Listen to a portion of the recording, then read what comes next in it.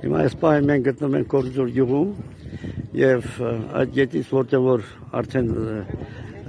Ադրբեջանի անցակետն է դրած հիմա հրանք եկա որ հիմա մենք սպասում ենք եւ այստեղ եւ տեսնենք թե կազմակերպիչները ինչ հրանք կտան եւ ինչպես կսկսեն հանրահավաքը այս պահին հիմա ես ցույց եմ տալիս այն տարածքը որտեղ որ պետք է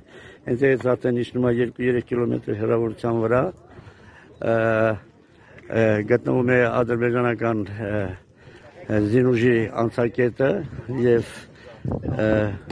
եւ չգիտեմ հիմա որոշեմ թե ինչ քայլերի կդիմեն, եթե որոշ ինչ որ տեղեկություն լինի, ես անպայման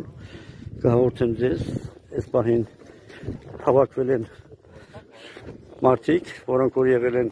Սյունիքի մարտից եւ տարբեր Երևանից եւ տեղից եւ թող 2-3000 մոտորապես մարդ անձնավորություններ կրնեն եւ կան այստեղ եկել են նաև հայ առաքելական եկեղեցուց մարդիկ, որոնք որ պետք է ինչ-որ բացում անեն։